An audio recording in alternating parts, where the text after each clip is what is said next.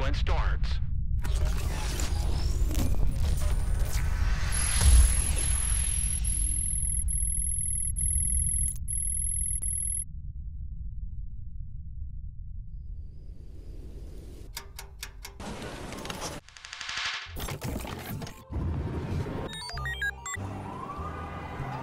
Die Welt befindet sich in ständiger Veränderung.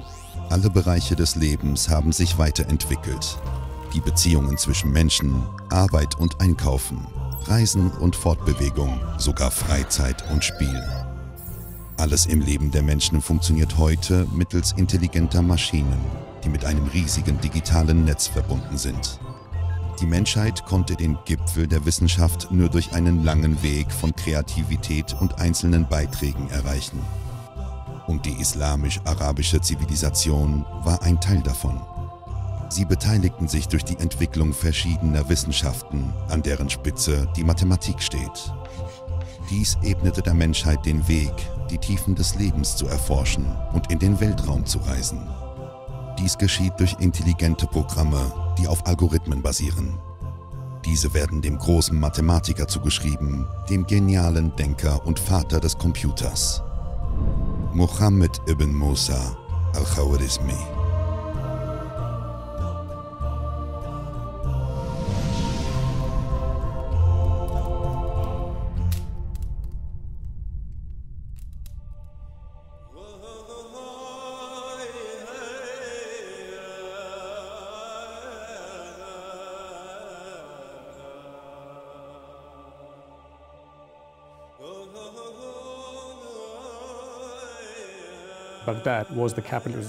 Bagdad war Hauptstadt, Sitz der Regierung und Zentrum von Wirtschaft und Handel. So wurde es zum Zentrum der Wissenschaft.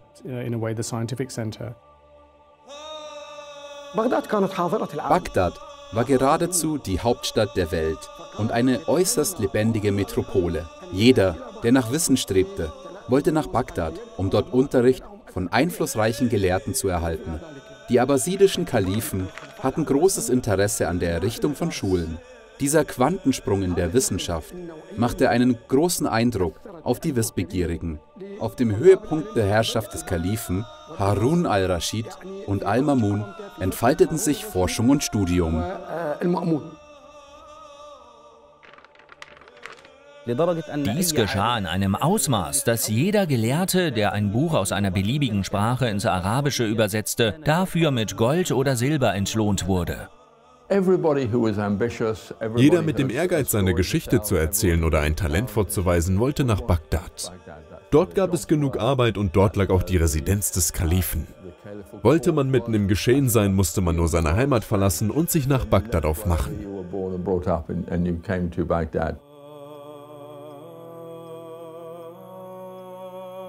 Mit dem Aufstieg und der Macht des Kalifats der Abbasiden wanderte eine der finanziell begüterten Familien aus der Stadt Chodesm, Region Khorasan, am Rande des Islamischen Reichs, in das Herz und Zentrum des Kalifats ein. Die Familie ließ sich in Kutarbal in der Nähe von Bagdad nieder. In dieser Familie wuchs ein kluger, vornehmer und intelligenter Mann heran. Er beobachtete aufmerksam und begeisterte sich für Forschung und Wissenschaft. Es war Muhammad ibn Musa al-Khawarizmi. Al-Khawarizmi lebte in seiner Jugend in Kurtabbal, wo er seine Tage entweder im Kreise der Gelehrten oder auf den Höfen der Familie verbrachte um seiner Familie bei der Bewirtschaftung und Pflege der Felder zu helfen.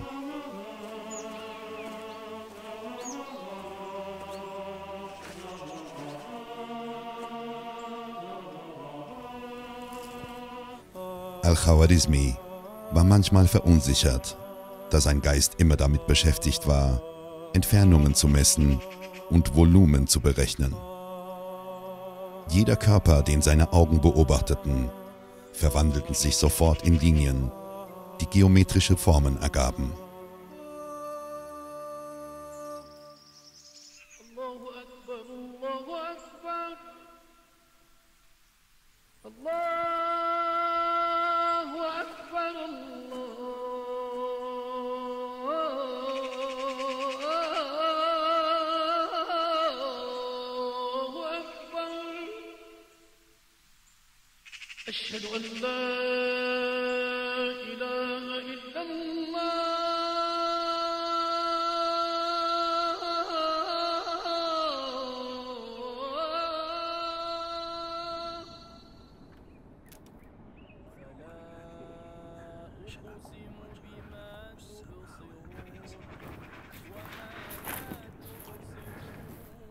Friede sei mit dir.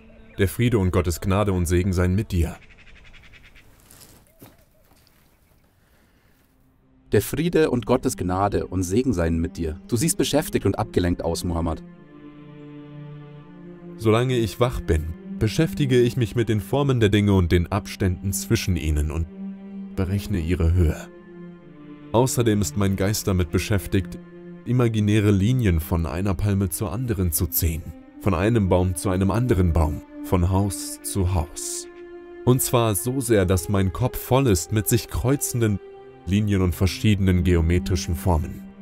Vorstellungen und Bilder, die mich im Wachzustand begleiten, verfolgen mich im Schlaf in meinen Träumen. Mein Sohn, wenn ich richtig vermute, wirst du dich in Mathematik auszeichnen. Geh also nach Bagdad, um Wissen zu erlangen. Und verschwende nicht deine Zeit mit dem Ackerbau. Vergeude nicht damit deine Energie. Aber ich helfe meinem Vater in der Landwirtschaft und ich kann nicht. Geh zum Haus der Weisheit in Bagdad. Und ich bin sicher, du wirst finden, was du suchst. Überlasse die Landwirtschaft den Bauern. Was deinen Vater betrifft, überlass ihn mir. Ich danke dir, mein lieber Lehrer. Möge Gott dich segnen. Friede sei mit dir. Der Friede sei auch mit dir. Al-Khawarizmi war nicht mehr verwirrt und die Worte seines Scheichs entfachten seinen Enthusiasmus. Er machte sich auf den Weg nach Bagdad, auf der Suche nach Wissen.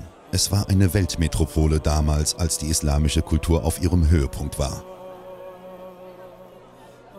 Al-Khawarizmi schrieb sich im Haus der Weisheit ein. Zu jener Zeit war es das Zentrum der Wissenschaft und der Gelehrten. Er wurde vom Kalifen Harun al-Rashid gegründet, der aufgrund seiner Liebe zur Wissenschaft und zu den Gelehrten einen großen finanziellen Beitrag leistete.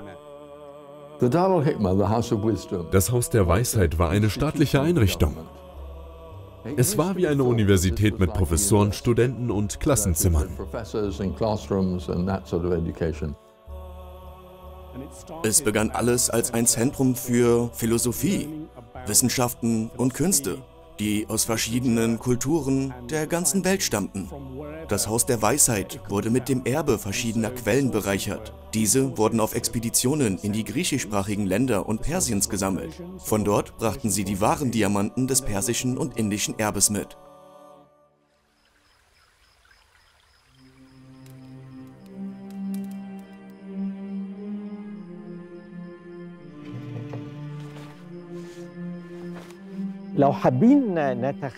Stellen wir uns die Situation zur Zeit von Al-Khwarizm vor. Es gab kein Internet, nicht einmal gedruckte Werke. Um zu lernen, musste man entweder einen Gefährten persönlich treffen oder Manuskripte über seine Wissenschaft lesen, die jemand von Hand kopiert hat. Al-Khawarizmi profitierte vom Studium im Haus der Weisheit, da es zu seiner Zeit bedeutende Gelehrte gab, die Werke aus anderen Zivilisationen übersetzten.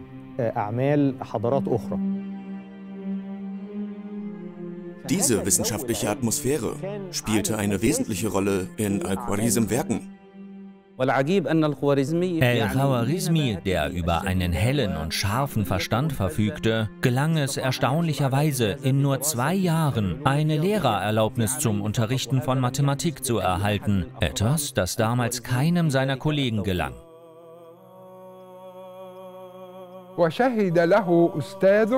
Sein Lehrer lobte ihn vor dem Kalifen Harun al-Rashid, als dieser ihn fragte, Hattest du nicht einmal einen fähigen, erfolgreichen Schüler in Mathematik? Er erzählte ihm daraufhin von Muhammad ibn Musa al-Khawarizmi.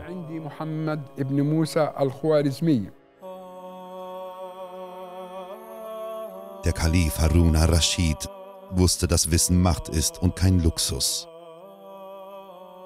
Er förderte kluge Studenten, bot ihnen ein angemessenes Umfeld und kümmerte sich um Al-Khawarizmi, der sich einem Buch nach dem anderen widmete. Es las, kritisierte und Nützliches entnahm. Dies ging bis zur Herrschaft von Al-Mahmun, der es Al-Khawarizmi ermöglichte, seinen Weg der Forschung und des Lernens fortzusetzen, indem er ihn zum Sekretär der persönlichen Bücherei im Palast des Kalifen ernannte. So stellte er große Mengen wissenschaftlicher Bücher unter seiner Aufsicht, sei es Persisch, Türkisch oder Arabisch, zusätzlich zu der vierten Sprache, die er gelernt hatte, nämlich Griechisch, was seinen wissenschaftlichen Einfluss nur erhöhte. El-Shawarizmi las zu dieser Zeit besonders viel über Mathematik.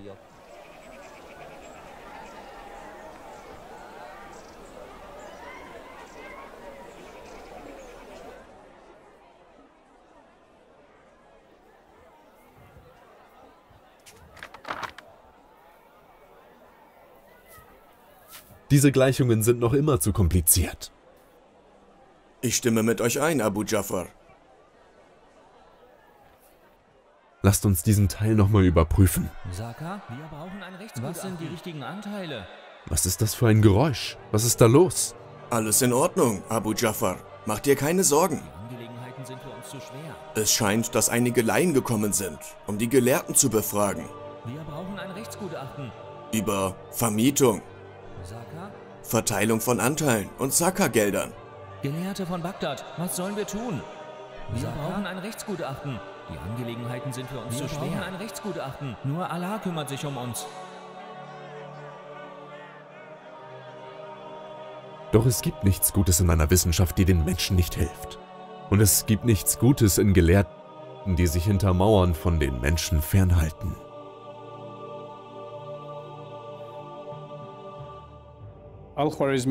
Al-Khwarizm unterschied sich von vielen Gelehrten, auch von seinen Zeitgenossen.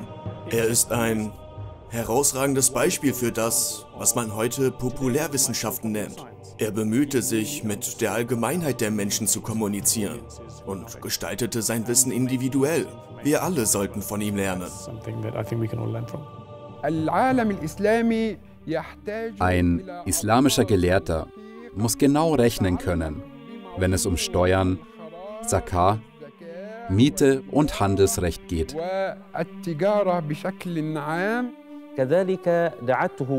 Diese Notwendigkeit ergibt sich aus der Scharia und daher muss der Gelehrte sich darin auskennen, sodass er den Muslimen in Erbschaftsangelegenheiten behilflich sein kann. Wir sprechen über das Kalifat der Abbasiden, das sich zu dieser Zeit auf fast 40 islamische Länder ausdehnte. Viele Menschen aus diesen Ländern konvertierten zum Islam, doch kannten sie sich nicht im Erbrecht aus.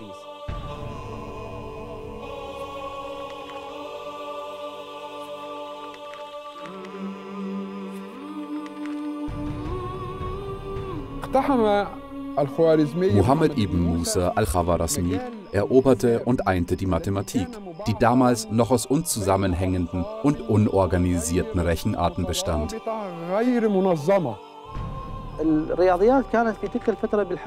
Damals war die Mathematik in einer schwierigen Lage. Es war nicht leicht, mit Zahlen umzugehen. In der Mathematik gab es noch nicht die bekannten Symbole für Zahlen.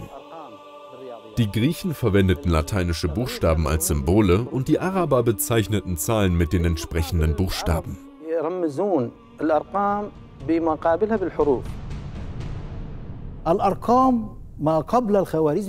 Wie rechnete man vor Al-Khwarizm? Es war sehr schwierig, mit Zahlen umzugehen, besonders für Laien. Sehen wir uns ein Beispiel für diese Zahlen an. Es gab nur die römischen Symbole. Die Nummerierung wurde durch Buchstaben ausgedrückt. Mit diesen Symbolen umzugehen, war sehr schwierig. Sie waren für Berechnungen unbrauchbar, selbst für einfache Berechnungen. Und das System konnte auch nicht reformiert werden. Stellen wir uns vor, wie die Menschen zuvor Berechnungen anstellten. Man merkt, dass es ein sehr schwieriger und komplexer Vorgang war. Wie sollte ein römischer Schüler 26 mal 14 berechnen? 26 wurde so geschrieben. XX bedeutet 10 und 10. Dann wird 6 dargestellt als 5, V, und 1, I. 14 wurde als X und V geschrieben, was eigentlich für die 5 steht. Aber dazu wurde das Zeichen I vorangestellt, damit es 4 bedeutet und nicht 6. Wenn man das multiplizieren wollte, was sollte man tun? Man schrieb 26 14 Mal, wie oben, und addierte das. Das ist natürlich ein sehr schwieriges und langwieriges Verfahren. Dann gab es eine Art von Berechnungen nach Sätzen. Man erstellte Tabellen und ordnete jedem Buchstaben eine Zahl zu. A entspricht dann einer bestimmten Zahl und all das funktionierte nach der alten Theorie der Buchstabenanordnung. Damals erlaubte sich jemand einen Spaß. Ein Prinz war verstorben und man wollte das Datum seines Todes dokumentieren. Er schrieb viel Mischmische, was wörtlich in der Aprikose bedeutet. Der Buchstabe F stand nämlich in der alten Tabelle für die Zahl 80, das I für 10, das A für 1 und so weiter. Dann zählte er alles zusammen. Jede Zahl entsprach jeweils einem Buchstaben. Und so kam das Ergebnis zustande, dass der Prinz im Jahr 801 verstorben war. Was auch stimmte, nur in Form eines Satzes. Dieses Verfahren war äußerst kompliziert, vor allem bei anderen Berechnungen. All dies war von Al-Khwarizm.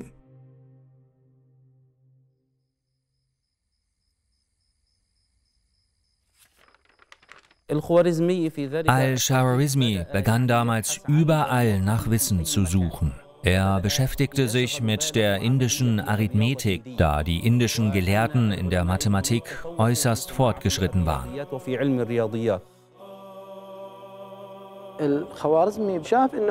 Al-Khawarizmi fand heraus, dass die Inder Symbole für Ziffern verwendeten. Es gelang ihm, diese Symbole weiterzuentwickeln, bis sie zu den arabischen Ziffern wurden, die auf Winkeln basieren.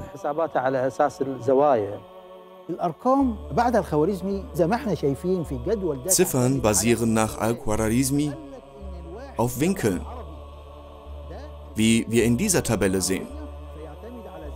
Die arabische 1 ist ein einfacher Winkel. Die Ziffer 2 definiert er durch zwei Winkel. Die Ziffer 3 durch drei Winkel und so weiter. Bis er zur Ziffer 9 kam die er mit neun Winkeln darstellte. Hier sehen wir die verschiedenen arabischen Ziffern und die Winkel, auf denen sie basieren.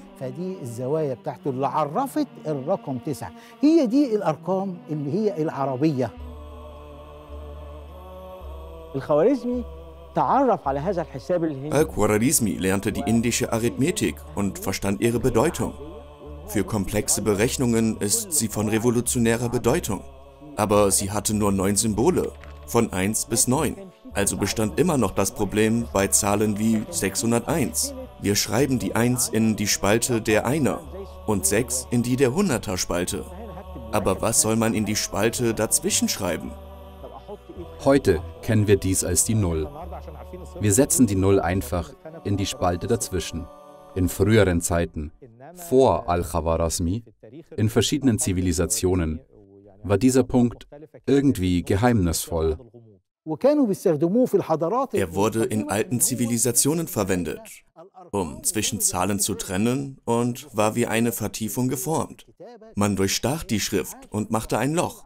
Das stand für die Trennung und nicht den Zahlenwert. Al-Khwarizmi war also der Einzige, der die Null zu diesem System hinzufügte und damit eine bedeutende Entwicklung im Bereich der Zahlen einleitete.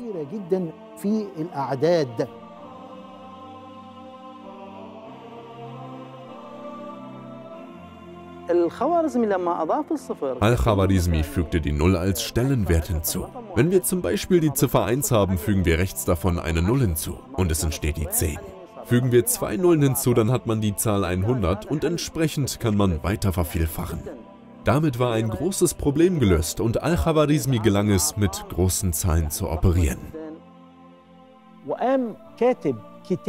Er schrieb ein Buch über indische Arithmetik. Dadurch lernten die Menschen die Mathematik kennen und dies wirkt bis heute. Nicht genau dieses Buch, sondern das Verfahren des Rechnens. Wir alle nutzen dieses System heute. Und wir sind in der Lage, jede Zahl zu schreiben, egal wie groß sie ist. Wir führen Berechnungen auf Basis von Algorithmen durch. Unter algorithmischer Methode verstehen wir eine Reihe von aufeinanderfolgenden Schritten, die auf einfache Weise zum Ergebnis führen. Al-Khawarizmi spielte eine wichtige Rolle, als er das Buch über die indische Arithmetik schrieb. Er erklärte die Bedeutung der Null und schuf damit eine wichtige Basis für die Mathematik.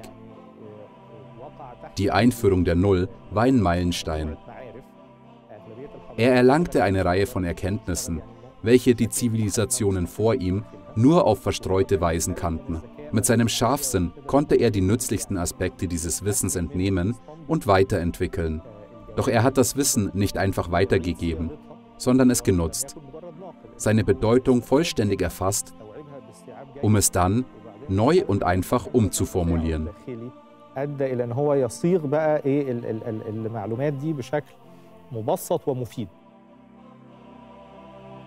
Al-Khawarazmis Vertrauen in die Wissenschaft hat keine Grenzen.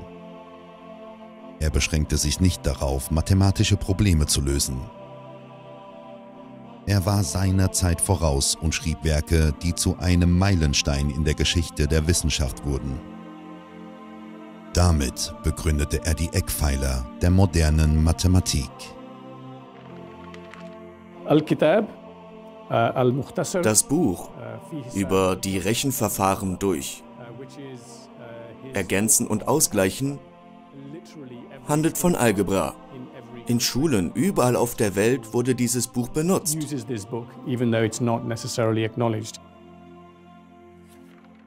Das Buch der Rechenverfahren mag heute nicht mehr bekannt sein, aber es legt die Grundlagen der Algebra dar, einem der wichtigsten Zweige der heutigen Mathematik. Diese Grundlagen basieren auf der Idee von Gleichungen, also Beziehungen zwischen bestimmten kombinierten Zahlen.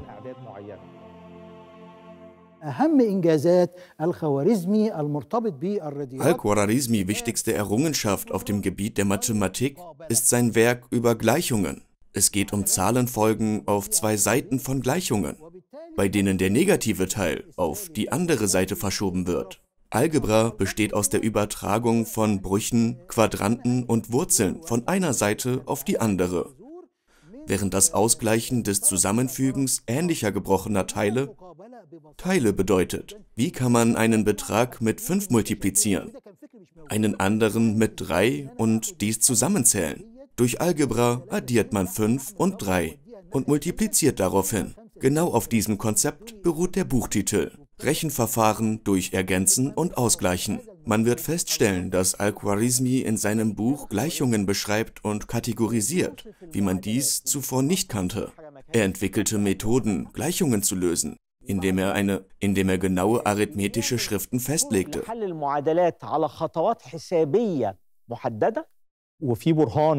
Jeder Schritt basiert auf einem tatsächlichen Beweis und führt zum nächsten Schritt und schließlich zu einem korrekten Ergebnis. Als der Computer mit seiner hohen Rechenfähigkeit erfunden wurde, programmierte man ihn mit Algorithmen. Benannt wurden diese erstmals von Al-Khawarazmi, auch wenn er diese nicht in der gleichen Weise niederschrieb, wie wir das heute tun, ist doch die Art des Denkens gleich.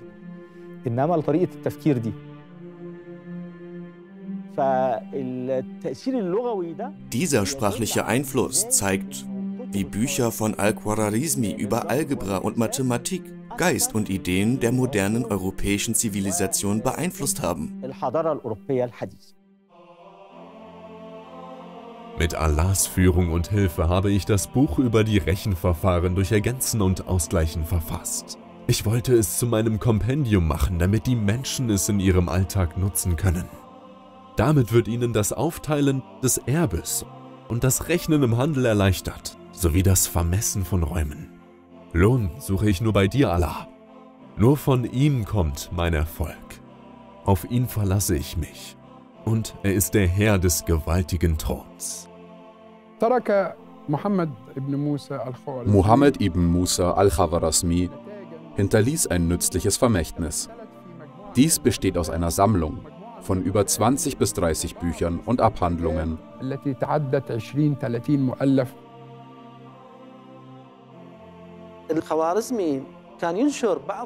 Al-Khawarizmi hatte mehrere Forschungsarbeiten veröffentlicht. Heute macht die Wissenschaft Fortschritte, weil Forscher bestimmte Arbeiten zur Veröffentlichung einsenden, die als Abhandlung oder Paper bezeichnet werden. Eine solche Arbeit kann aus vier oder fünf Seiten bestehen und befasst sich mit einem spezifischen Problem. So entwarf er auch Lösungen für die Sonnenuhr. Er veröffentlichte auch Forschungsarbeiten zu astronomischen Berechnungen über die fünf Monde, wie man sie damals nannte, sowie zu den Bewegungen der Sterne und Planeten. Es gelangen ihm mathematische Berechnungen, sodass er zum eigentlichen Begründer der Astronomie unter den Muslimen wurde. Al-Shawarizmi starb im Jahr 847 nach Christus, 223 Hijra. Später wurden seine beiden Hauptwerke der Mathematik, Rechenverfahren durch Ergänzen und Ausgleichen und sein Buch über indische Arithmetik ins Lateinische übersetzt. Durch lateinische Übersetzungen wurden einige von Al-Khawarizmis Werken gerettet, auch wenn die arabischen Originale verloren gingen. Al-Khawarizmis übersetzte Werke hinterließen einen tiefgreifenden Einfluss auf die westliche Kultur. Einige seiner Werke zur Astronomie wurden zu Beginn des 16. Jahrhunderts gedruckt.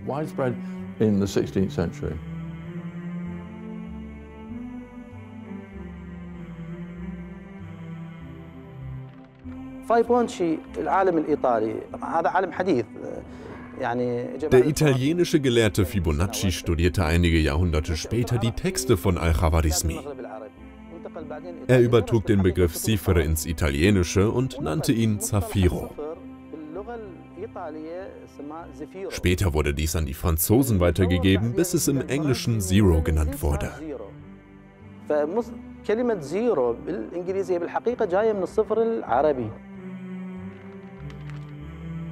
Die islamische Zivilisation machte sich Mathematik zu eigen. Die Muslime wurden in diesem Bereich äußerst erfolgreich und bereicherten das wissenschaftliche Leben mit hervorragenden Beiträgen. Trotz des Niedergangs, den die islamische Zivilisation in den vergangenen Jahrhunderten durchmachte, blieben die Bücher von Al-Khawarizmi der Grundstein, auf dem die moderne wissenschaftliche Zivilisation aufbaut.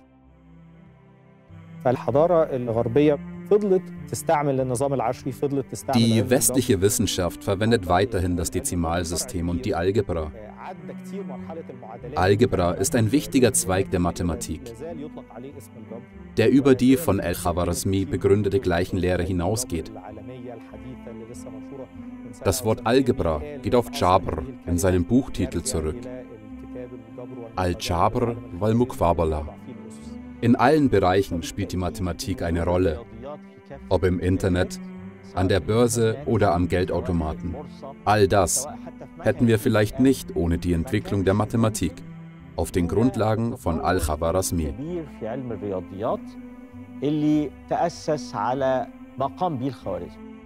Nichts Gutes ist in einer Wissenschaft, die den Menschen nicht hilft. Nichts Gutes ist an Wissenschaftlern, die sich von den Menschen hinter Mauern zurückziehen.